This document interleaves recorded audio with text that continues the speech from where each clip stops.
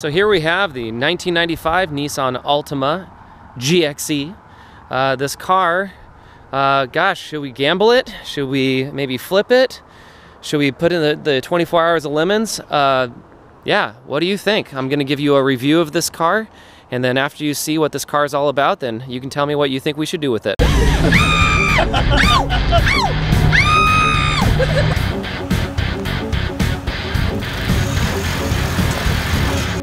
Still drives, And stops! and it stops.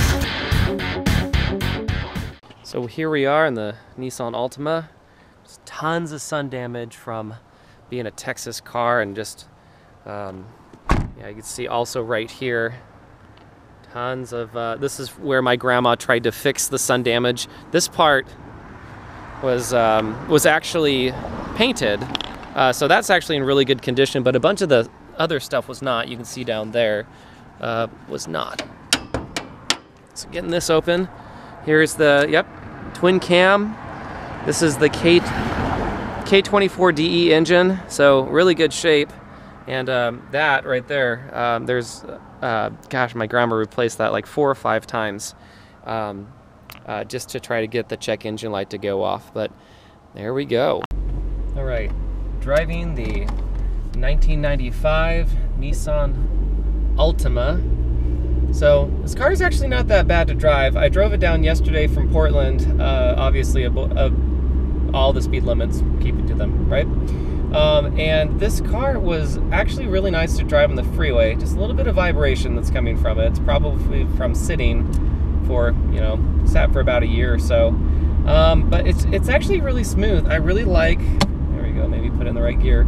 I really like the uh, the engine. The K24 engine is really great. Um, when the um, when the variable valve timing comes in, it's it's nice. This car actually it's it's nice. I, I can imagine why people drove this car back in the day. It was um, uh, there was a bunch of options, and this one probably had a little bit more of a sporty flair. Uh, this car would have been great with a manual transmission, um, but it's just it's actually not that bad of a car at all.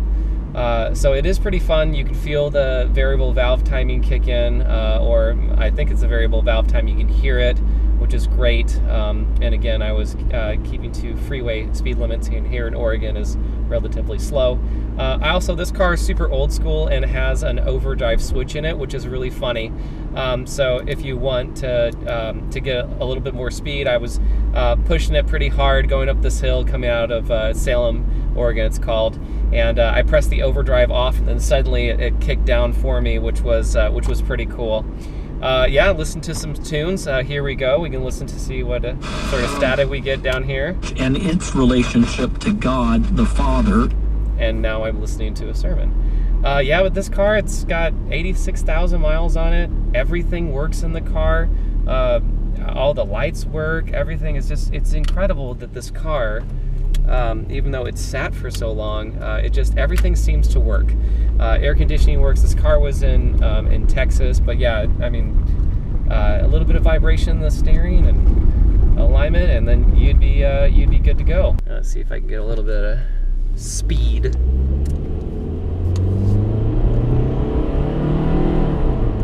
There we go. That's nice. You could hear the. I think that's the variable valve timing. I think that this is the dual overhead cam K24 motor. Um, so you could hear that and just hear that um, uh, the air coming in. It sounds really cool. It, it's a, such a cool engine. I think it's the same engine that they put in the 240SX. Um, it's just kind of too bad that that engine is wrapped in the rest of the stuff. Uh, the car is is actually pretty nimble for what it is, which is which is pretty cool. Um, it just this automatic transmission is is is pretty terrible, and uh, that kind of makes things bad. Let's, let's see how it goes again. The beans. There we go. Yeah, I mean it's just it's it's pretty fun, and so uh, yeah, with this car, it's like you know the, the physically this car you can't see it, but it's not that good a condition but mechanically this car is just so perfect and i think that this would be a great car for lemons uh, so if you don't know what the lemons is the 24 hours of lemons is where you uh, you literally race for 24 hours in uh, and it depends on the location Um, but you're supposed to keep your car under 500 bucks or something like that. And the idea is that you get these old crappy cars and you race them, and you know, of course, people put all sorts of things into it. There's also Lucky Dog Racing. Uh, I think this car would actually be really good for it because it, it really doesn't have that many miles on it, but you know. Uh, who knows? Uh, either that or um, there's always the Gambler 500 if you don't know what that is. Um, it's where you have to get from uh, somewhere in the western part of Oregon to the um, middle part of Oregon, usually a place called Chemult, and you're supposed to just get the crappiest car as possible and just send it. Uh, and so people take hilarious cars like this and usually lift them and mod them a lot. Uh, so maybe not that. Uh, but who knows? Uh, if you have any comments, uh, you can like and subscribe and then uh, leave a comment below. And then from there, um, you can let us know, should we, should we gamble this? Uh, what should we do with it? Let's see if I can get a little bit of speed.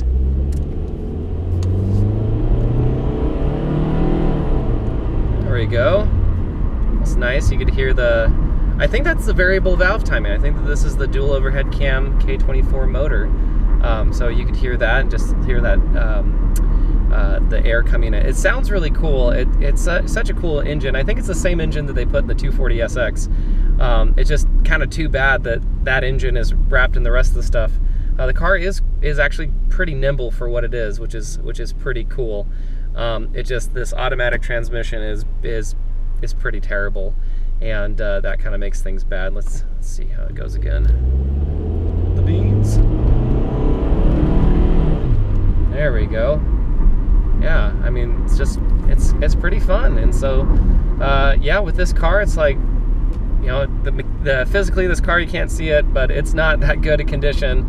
But mechanically, this car is just so perfect, and I think that this would be a great car for Lemons.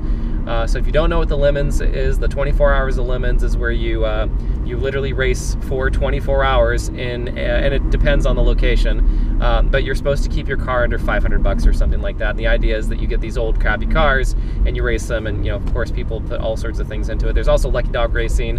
Uh, I think this car would actually be really good for it because it, it really doesn't have that many miles on it, but you know. Uh, who knows? Uh, either that or um, there's always the Gambler 500 if you don't know what that is. Um, it's where you have to get from uh, somewhere in the western part of Oregon to the um, middle part of Oregon, usually a place called Chemult, and you're supposed to just get the crappiest car as possible and just send it. Uh, and so people take hilarious cars like this and usually lift them and mod them a lot. Uh, so maybe not that. Uh, but who knows? Uh, if you have any comments, uh, you can like and subscribe and then uh, leave a comment below. And then from there, um, you can let us know, should we, should we gamble this? What should we do with it?